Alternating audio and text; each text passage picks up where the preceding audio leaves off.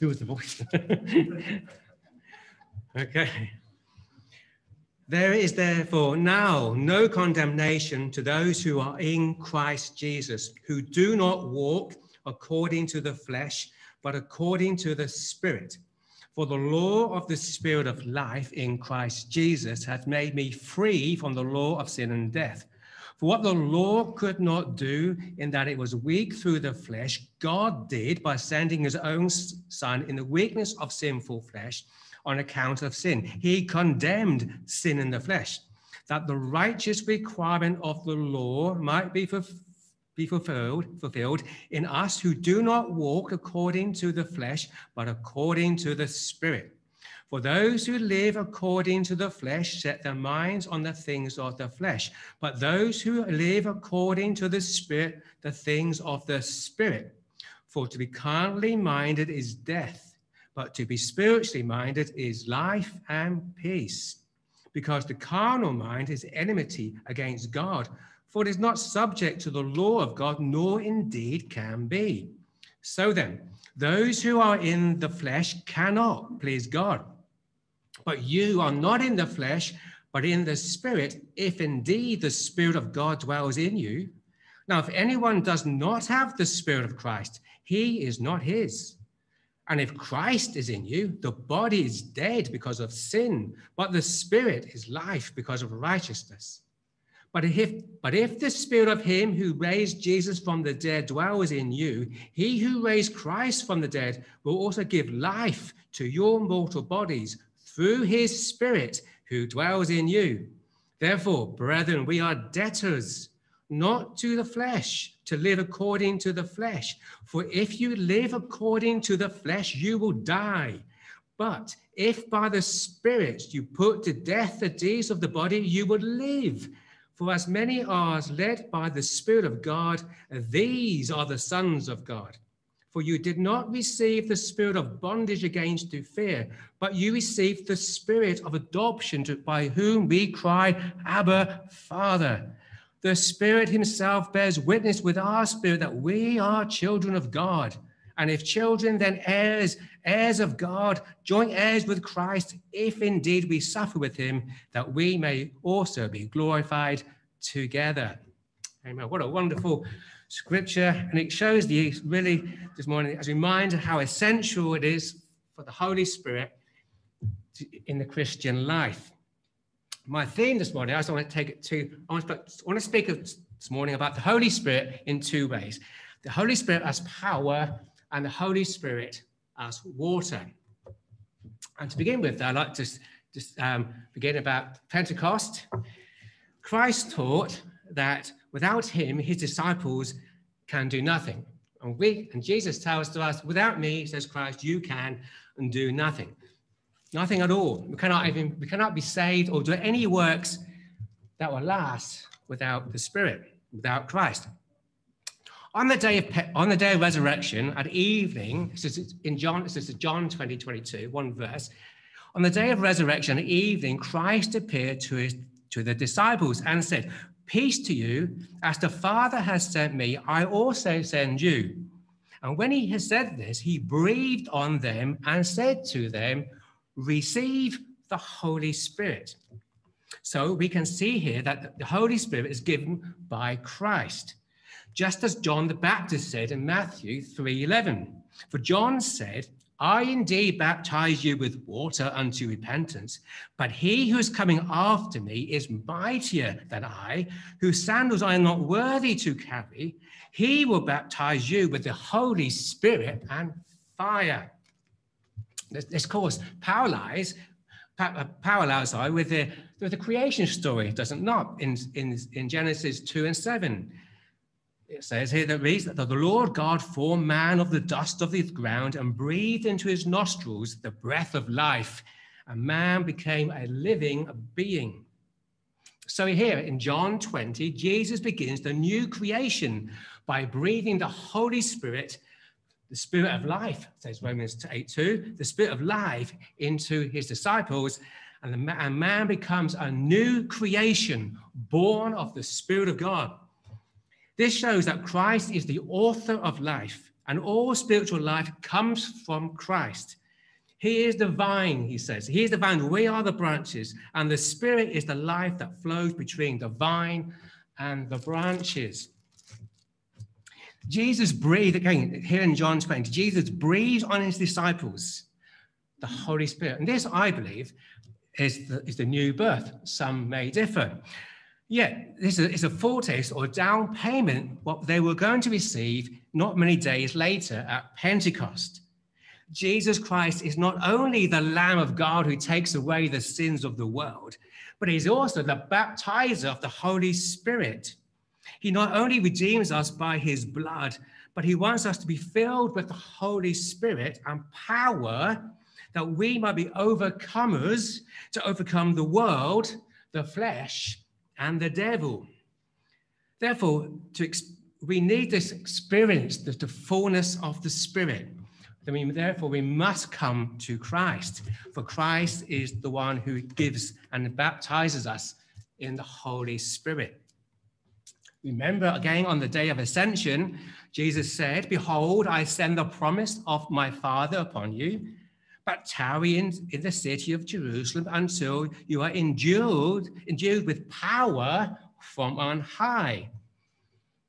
Let us seek Christ for the Spirit. Whether you believe in, in the one blessing or if you believe, like myself, there's two blessings, that doesn't really matter. The, what we need is the fullness of the Spirit and power. Peter says to um, in that great sermon in Acts 2 concerning the gifts of the Holy Spirit, for the promise is to you and to your children and to all who are far off, as many as the Lord our God will call. So that includes you and that includes me. And Peter, again in Acts, when he was preaching to the Cornelius in Acts 10, he says, How God anointed Jesus of Nazareth with the Holy Spirit and power. Now, if Jesus needed the Holy Spirit and power, who was a perfect man, how much more do we need the Holy Spirit and power? We who are weak and full of corruption, we desperately need the power of the Holy Spirit. So, John, again, John, Jesus says, it's the Spirit that gives life, the flesh profits nothing. The flesh, the, the old nature, the sinful nature profits nothing at all.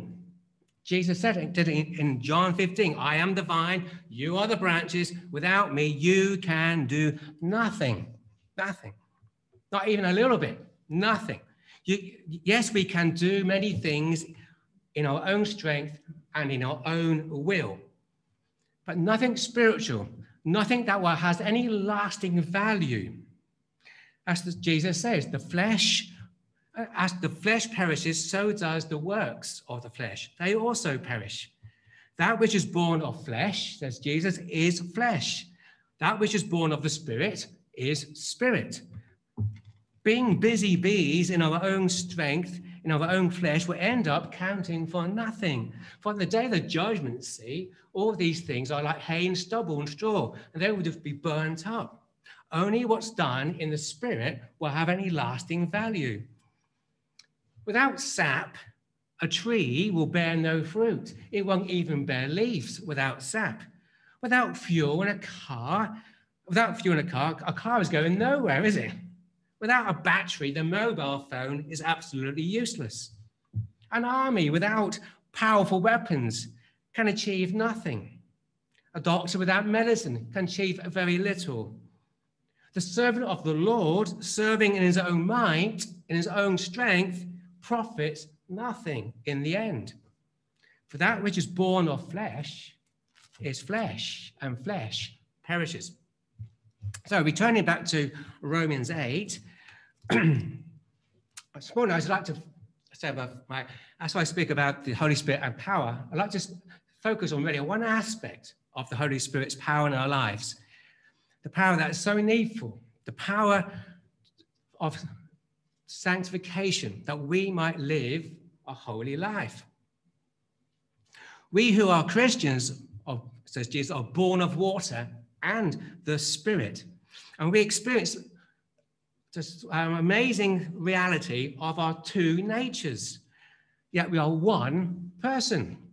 We have the, the, the nature of our birth, as you remember, the old sinful nature with its sinful passions, which the Bible calls the flesh. And wonderfully, we have that new nature received at the new birth, being born again. Not of blood, says Jesus, not of the will of the flesh, not of the will of man, but of God, born of the Spirit. The Bible teaches we are to walk and to live by the Spirit and not according to the flesh. Now, we all know and we love Romans 8 1, especially. I mean, we can all quote it. As, as Paul, know, there is therefore now no condemnation to those who are in Christ Jesus. We all know that. We all love that. But how many of us do know the second part of Romans 8? Who do not walk according to the flesh, but according to the Spirit. Which somewhat makes the some sort of a conditional upon it. There should be an evidence of a changed life. The old has gone, the new has come. And as Romans tells us in, in, in 6, that we should be walking in the newness of life. There should be a change in our life. I was somewhat shocked to find that in the second, this, the second part of the verse is not in all translations, depending on the Greek translation. Nevertheless, the apostle again repeats the phrase in verse 4. I'll read verse 2 first. For the law of the Spirit of life in Christ, I love that verse, the, the, the law of the Spirit of life, the Spirit of life. The law of the Spirit of life in Christ Jesus has made me free from the law of sin and death. For what the law could not do, in that was weak through the flesh, God did by sending his own Son in the likeness of sinful flesh. On account of sin, he condemned sin in the flesh that the righteous requirement of the law might be fulfilled in us who do not walk according to the flesh, but according to the Spirit. It's something we have to do. We have to fulfill, as it were, by the Spirit. So yes, the Spirit comes to us to sanctify us and strengthen us. My goal there really, I mean, there's so much we could say, but my, because of time, my goal is really to reach verse 13 this morning. So I'm going to just read from verse 12. Therefore, brethren, we are debtors not to the flesh to live according to the flesh. For if you live according to the flesh, you will die. But if by the Spirit you put to death the deeds of the spirit body, you will live. Now, the power of the indwelling spirit and the power of indwelling sin. This is the great conflict we have, the great struggle between the power of the spirit and the power of sin. We all know it. If you're born again, you know this power, this struggle we have on a daily basis to put to death the sin. To conquer the sinful passions, to conquer the flesh, this, John says, one, 1 John 2, John says this, that the sinful passions belong to this world. John, in, two, in John 1 John 2, 15. Do not love the world or the things of the world. If anyone loves the world, the love of the Father is not in him. For all that is in, is in the world, the lust of the flesh, the lust of the eyes, and the pride of life is not of the Father, but is of the world. And the world is passing away, and the lust of it. But he who does the will of God abides forever. So we can see here the lust of the eyes, the lust of the flesh, it is of the world, it's going to perish. The, today's expression of these things, the lust of the eyes and the money, uh, you could say it's money, sex, and power. The lust of the eyes is attracted by money and things of the world. The lust of the flesh is sexual desire, and the pride of life is power. The lust for power comes from pride of heart, self exaltations, which often lead to abuse of power and to and wrongdoing. Think about when someone falls from a high position, whether it's in church, whether it's in in the state, or whether it is in the world, it is usually one of the three, either through the lust of lust for money, lust for sex, or lust for power. It's always one of those three. Usually it's one of them three things. It's the power, it's the sinful flesh within us. This is why the, the New Testament teaches us to crucify the flesh and to put to death the, the sinful nature and its sinful passions. Jesus himself, doesn't he? Does he not begin this teaching in the Gospels? If anyone desires to come after me, let him deny himself, take up, the, take up his cross, and follow me. For whoever desires to save his life will lose it, but he, but whoever loses his life for my sake will find it. Question: How can self deny self, or how can I, in my own strength, crucify myself? Will not self, self fight back and overpower me if I do it in my own strength? How can a believer put to death that indwelling sin without a greater power? The religion of the world and the religion of men seek to reform man by a moral, in, in moral character, by outward bodily afflictions and by laws and, and restrictions. Just like in the Middle Ages, you know, you see the monks whipping themselves and, uh, and, uh, and self-whippings and fastings and penance and all these kinds of things. Just, just, just read Martin Luther's testimony. You know, it's amazing what they did to try to earn salvation and to control the passions of the flesh. Throughout history and the world, in all world religions, we see this outward effort to, to, form, to reform moral character. But the Apostle Paul writes in Colossians 2 and 23 these things indeed have an appearance of wisdom in self imposed religion, false humility, and neglect of the body, but of no value against the indulgence of the flesh. They have no value. The sinful flesh is powerful, and we cannot put it to death. We need a power not of our own to put to death. In Luke gospel, Jesus comes and, and gives this illustration. When a strong man, fully armed, guards his own palace, his goods are in peace. Now, in this case, I'm relating to the strong man is the flesh. He rules the house. But when a stronger than he comes upon him and overcomes him, he takes from him his armor in which he trusted and devours his spoils. The stronger than he is the Holy Spirit, comes upon, overcomes the power of the sinful flesh, enabling the believer to put to death the deeds of the body and to live in the Spirit and therefore to live for Christ. We need a stronger power, and that stronger power is the Holy Spirit. Surely that is why so many Christians in, in, Christendom struggle with unconquered sin and with lust and with pride, for they have not been taught the truth of the spiritual life. They have not been taught to seek the fullness of the Spirit. But if by the Spirit you put to death the deeds of the body, you will live. You will live in the spirit and thus gain freedom from the power of sin in the flesh. Yes, by degree by degree, but we conquer it by the power of the spirit. Freedom comes when sinful lusts are crucified, or lust for power, and lust for riches, or lust for fame, and lust for the things of this world. It is written, godliness with contentment is great gain. Great gain. a gain that is written, not by might, not by power, but by my spirit, says the Lord. Ephesians 6, Paul says, Finally, my brethren, be strong in the Lord and the power of his might.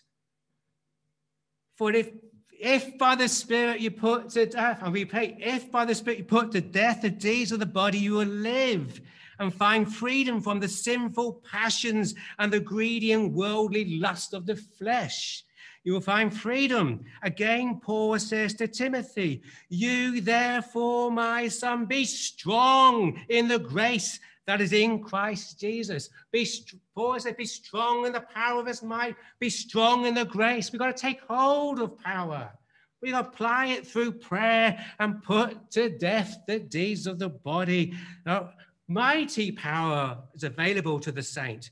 Mighty power is available for the disciple of Christ. Let us therefore get the victory over our indwelling sin and the works of the flesh and become overcomers, overcomers in the name of Jesus. For Jesus says it, he gives us so many wonderful incentives to become overcomers. Just read Revelation and, and his message to the churches and the rewards for the overcomers, very briefly in 2 7 to him who overcomes i will give to eat from the tree of life which is in the midst of the paradise of god. In 211 to he who overcomes shall not be hurt by the second death. 217 to he who overcomes i will give some of the manna of the hidden manna to eat. That's a mystery. To 226 to he who overcomes i will give power over the nations to he who overcomes shall be clothed in white garments. 3:12 To him who overcomes I will make him a pillar in the temple of my God. And to he who overcomes I will grant to sit with me on my throne. What fantastic, glorious incentives does Christ give to those who overcome? We must overcome the flesh by the Spirit of God. Second point, and, and, and more briefly, the Spirit as the water, Spirit as water. I'm going to read from John chapter 7. If you know these wonderful verses, well known verses, John 7. I can find it. John 7 and, and verse 37. John, you know these verses. Have the Spirit of God as power. I'll uh, illustrate the Spirit of God as water. On the on verse 37, on the last day, the great day of the feast, Jesus stood and cried and saying, If anyone thirsts, let him come to me and drink. He who believes in me, as the scripture has said, out of his heart will flow rivers of living water. But this he spoke concerning the Spirit whom, he, whom those believing in him would receive, for the Holy Spirit was not yet given because Jesus was not yet glorified. So here we can see that the, that the Holy Spirit is, is pictured as living water. Water. Spirit and water are synonymous, synonymous in the, in the scriptures. I'll ask you a question this morning. Is your heart your soul, your innermost being, is it like a well watered garden this morning? In your garden, are there blossoms and flowers and fruits and new buds? Are there pools of living water? Is there flowing a river, a river of living water out of your belly this morning? Have you received the refreshing rains of heaven lately? Do you see the footprints of a heavenly, of a heavenly gardener? Or is this morning, is there a drought in your soul this morning? Is there dryness in your soul? Or worse, does it feel like a desert this morning? Or even deadness in your heart? The prophet Haggai will cry out to you and say, Consider your ways. If you remember Haggai in the Old Testament, he prophesied to a people who were neglecting the building of the temple. They'd come back from Babylon and they started the temple and they were building the temple. Then they stopped building the temple and they were building their own homes instead. And God removed the blessings. Removed all the blessings. If you read the scripture, if you read Haggai, it's a great little book. He removed all the blessings from the land. It didn't rain, the crops failed. he said, Consider your ways, he says to the people. The Apostle Paul writes, Do you not know that you, that you are the temple of the living God? Have you been neglecting your temple? Have you been neglecting the word of God? Jesus said, The words that I speak are spirit and are life. So necessary for the Christian to feed upon the word, because these words are spirit and they are life to us, our food. Are you like the Jews of old and have, and have forsaken the living water? Remember, Jesus said to the woman at well, at the well in John 4, if you knew the gift of God, you would have asked him, and he would have given you living water. He would have given you the Spirit if you've asked him. Have you asked him lately for the Holy Spirit? Dear friends, another reason you might be so if you if if you are dry, if you're like a desert today, another reason could be that you have disobedience. You have disobeyed the Lord in some way. You've unconfessed sin or unforgiveness in your heart. For the scripture plainly tells us through the, through the Old Testament that God calls for a drought when his children go astray, not in, not in wrath, but in, in mercy. He calls for a drought that the children might come back to the living water, to the fountains of living water. The people go astray. He calls for a drought in your heart. I said, Lord, I'm dry. But he's calling you back. Prophet, again, the, the prophet Haggai says to the Jewish people at that time, Therefore, the heavens above withhold the dew, and the earth withholds its fruit. For I called for a drought. I could, consider your ways, he says. Consider your ways. When the living God takes first place in our heart and in our life, then the living God pours out his living water, the blessed Holy Spirit in our life. Seek first the kingdom of God, said Jesus. For the kingdom, and Paul says, for the kingdom of God is righteousness, peace, and joy. Where? In the Holy Spirit. That is where our joy is. That is where our peace is. When we're filled with Christ and the Spirit, that's where we gain the victory. In Psalm 65, it says, I love this verse, it says, The river of God is full of water. It's full. It's not half empty, not quarter full, it's full of water. There's no need for anyone to be thirsty who believe. Come, says Jesus, and I will give the fountain of living water of life freely, freely to him who, th- who thirsts. Let him who thirsts come. Whoever desires, let him come and take the water of life freely. What happens when it begins to rain after a long dry period. Oh, the earth, then it shouts for joy. I remember watching, I'm watching television a while ago. In Africa, on the Great Plains in Africa, grazing animals, they were living on dry, dead grass. And suddenly, in a far distance, it started to rain. And, the, and, they, and, they, and they had a keen sense of the rain. And they, and they smelt the rain or the, or the effects of the rain. And they started moving at great speed towards the rain. And great herds ran towards the smell of the rain. After a period of dryness even here in lancashire it does get dry sometimes.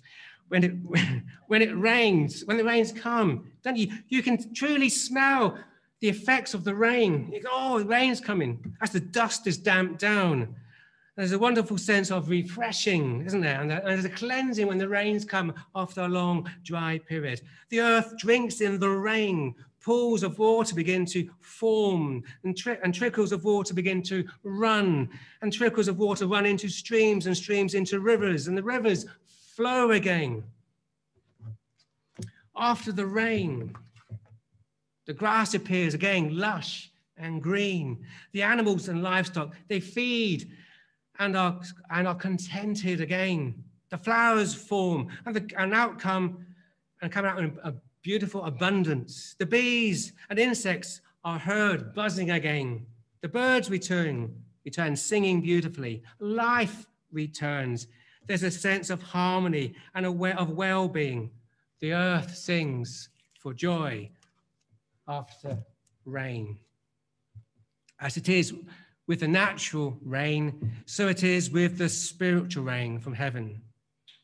Hosea in verse in chapter 6 verse 3 says he will come to us. He god will come to us like the rain like the latter rain and the former rain. God will come like the rain.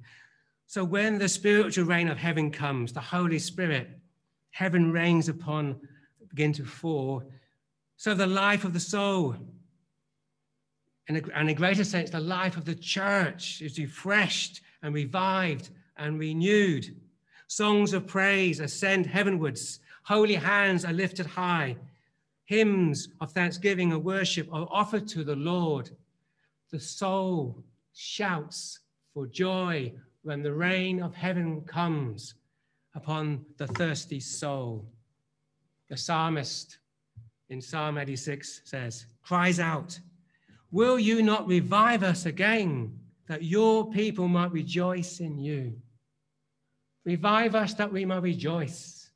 We need to, we need to be filled with the Spirit. Revival comes, rejoicing comes when we are filled with heavenly rain.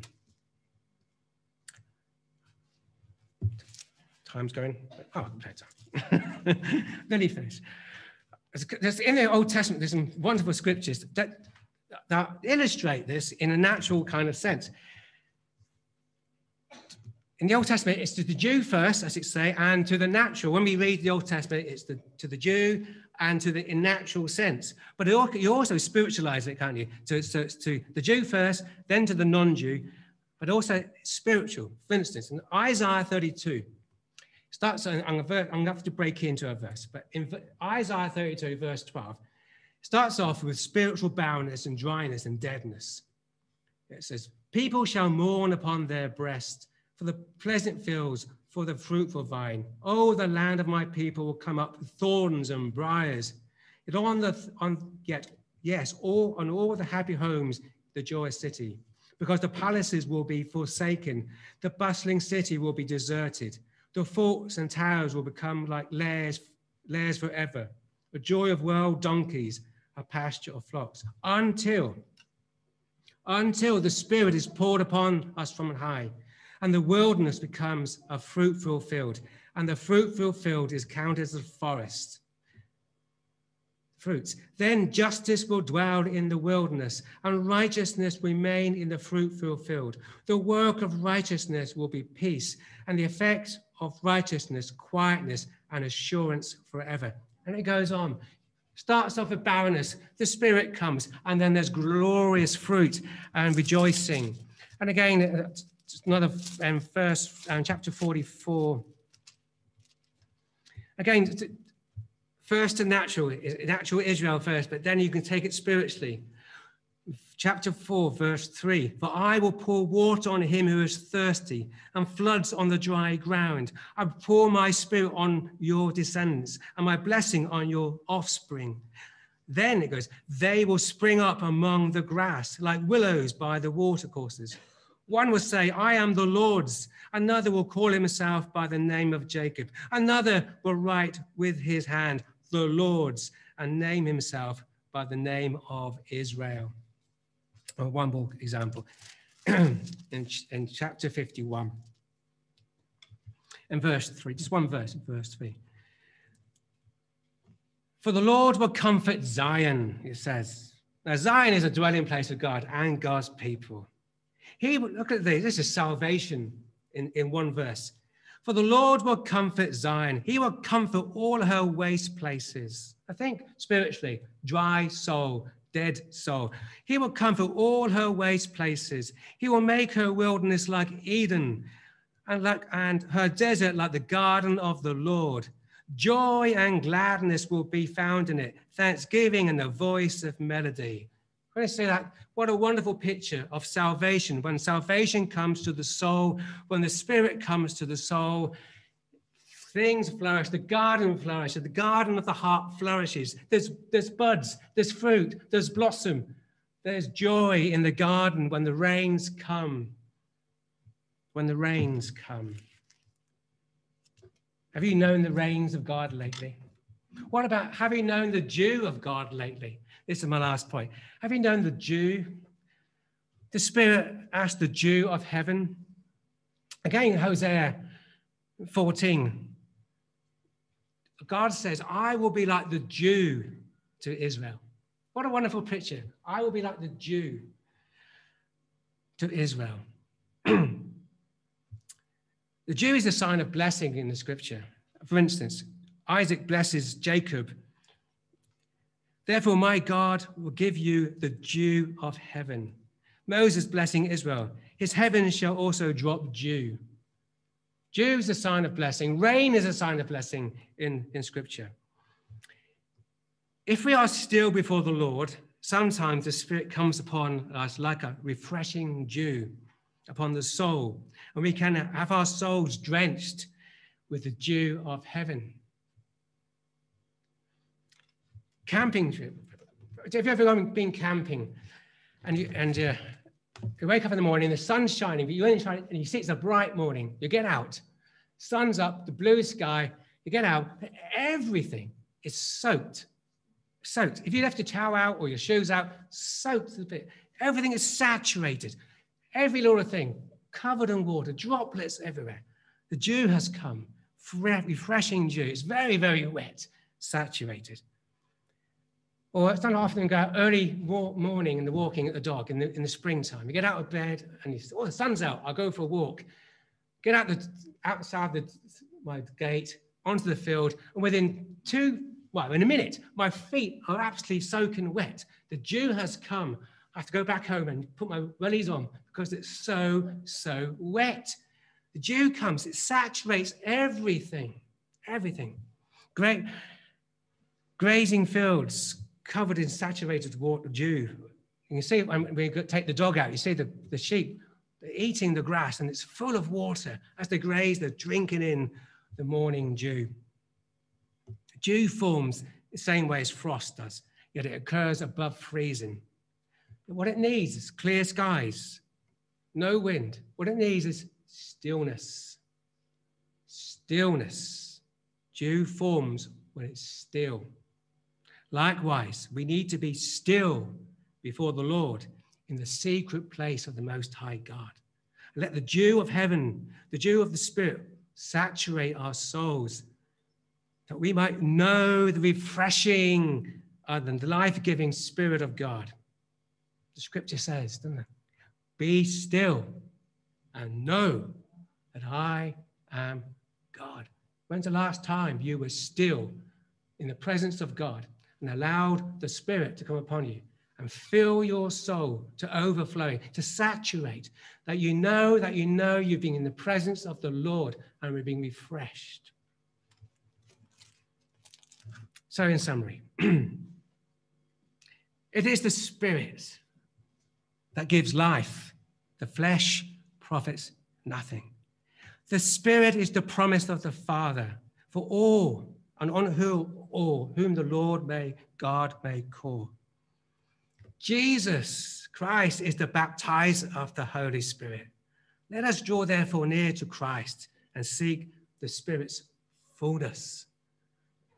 Let us, by the power of the Holy Spirit, put to death the deeds of the body, being strong in the power of his might, being strong in the grace that is in Christ Jesus. Let us seek the rain from heaven. Let us be still before the Lord that we might have our souls drenched in the dew of heaven. And above all things, above all things, let us pray. Pray with the psalmist let us cry out to our God, Will you not revive us again, that your people might rejoice in you? Amen. Let us pray. Breathe on me, breath of God.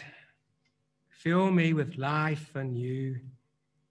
Breathe me on, breath of God, until my heart is pure. Breathe on me, breath of God. Fill me with life anew. Oh Lord God, will you not revive us again, that we, your people, might rejoice in you, that we, your people, might be filled with you, that we, by your people, may glorify you.